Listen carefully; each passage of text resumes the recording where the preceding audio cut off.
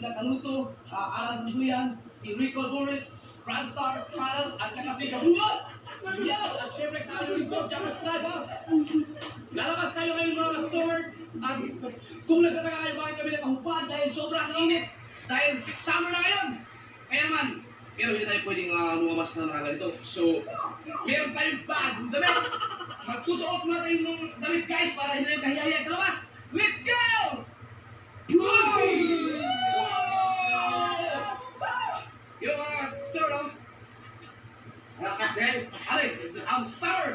Let's go!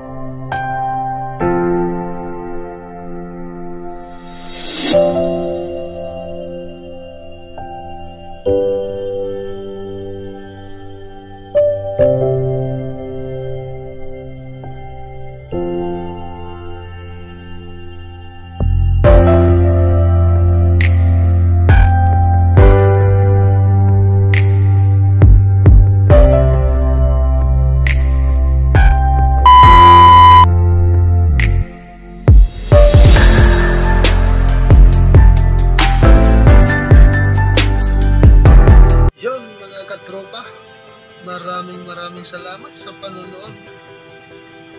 Huwag niyong kakalimutan mag-subscribe, like, and share. Maraming salamat. Babu!